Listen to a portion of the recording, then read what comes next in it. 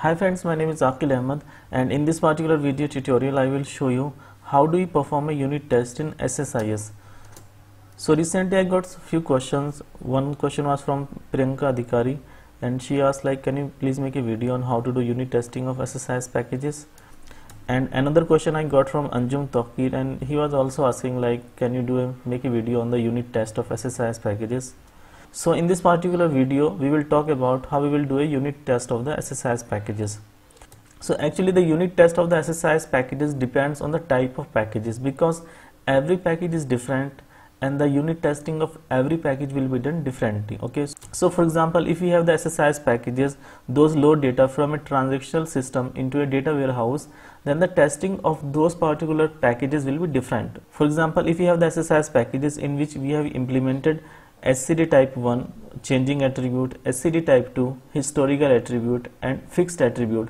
So if we have implemented all those code and then if you want to do the testing then it will be different. Like is the package is capable of handling the changing attribute and is the package is capable of maintaining the historical attribute and is the package is doing what actually it was created for okay. so the unit testing depends on the type of package you have created similarly if you have another package those import data from csv files and directly load into a sql server database so the testing of that package can be done differently as well for example i have worked on the project where I receive the files on monthly basis. So suppose if last month I got a file and suppose I got 100 million records and then next month I also got another file from the same client and then in the next file I got 100 and maybe one record or 105 records. So like for example the change of 5 to 10 percent number of records is fine okay?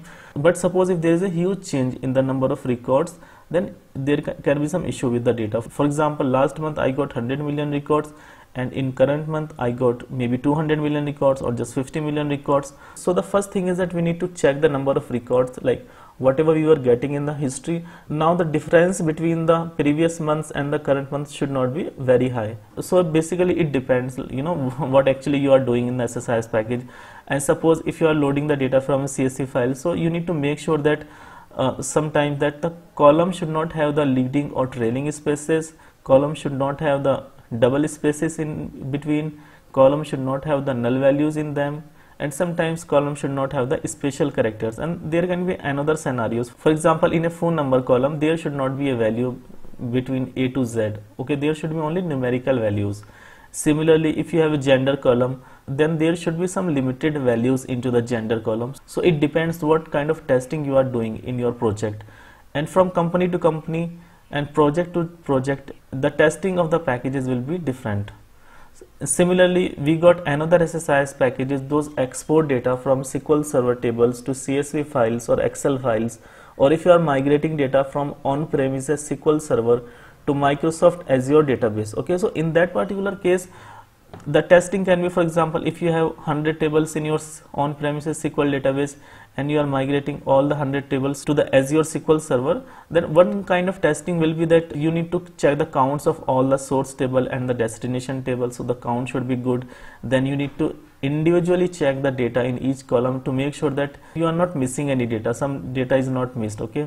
So it depends actually what kind of project you are working on. Now if you have another type of packages those actually back up a bunch of SQL databases from one server and then restore to another server so this type of packages will also have different kind of mechanism for the testing. For example you need to make sure that the package is capable of doing the backup and restore according to the requirement. So for example it is taking the backup of the correct database and restoring the mdf and ldf files to the correct drives. Okay. so it depends actually what kind of packages you are working on there can be multiple type of packages now out of these four packages suppose if you are working on a package which is similar to the scenario number two that you are importing the data from CSV files and loading it to a SQL Server database. So let me show you what kind of basic testing you can do on that particular package. So let's jump to the demo. In my D files location, I got a file test data underscore one.csv and if I show you the data in this particular file, so we got person's ID, first name, last name, address and the country information. And if you check that for the first name we got a space before the first name. Similarly in the second row we got a space after the first name as well. And then we got an space after the last name as well. And then here we got an space okay. Similarly here we got few double spaces. So there can be different type of data okay. Now i will be importing this particular file into a sql server table and the table name is address okay i have already actually written the ssis package because it's a simple data flow task and i'm just reading the data from a csv file and then importing the data into a sql server table.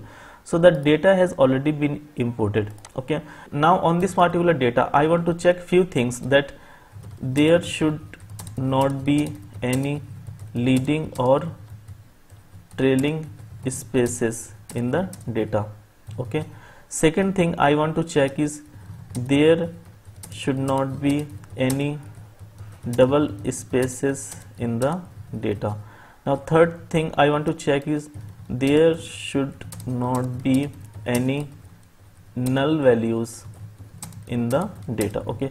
So normally when i load the data so i check these things and there are some other things as well that i will cover in another video otherwise the video will be very lengthy. So i will cover only these three things in this particular video. So i got everything loaded here but suppose if I want to check if there are some null values or there are some leading spaces, trailing spaces or double spaces. So how I can check all those things. Okay. So I have written few queries here. So the first query will be to check the leading or trailing spaces in the data. Okay. So I have already written a query that I will share with you. So this query will check if there are any leading spaces or trailing spaces in the first name, last name, address or country. So if I execute this particular query, so this will return you that in the first name there are five records in which there are some leading spaces or trailing spaces. Similarly, in the last name, there are two records where you have some leading spaces or trailing spaces. And for the address and country, there is no leading or trailing space. Okay.